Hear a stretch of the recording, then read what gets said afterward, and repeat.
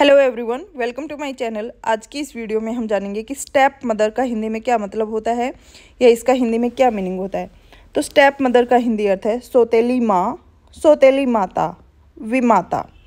यानी the women who had has married your father when your parents are divorced और your mother is dead जब आपके माता पिता का तलाक हो गया हो या आपकी माँ डेड हो चुकी हो, उसके बावजूद आपके पिता किसी औरत से शादी करते हैं तो उसे हम शोतेली माँ कहते हैं। Example his step mother is not a good women उसकी सोतेली माँ अच्छी महिला नहीं है। तो इसके साथ इस वीडियो में बस इतना ही।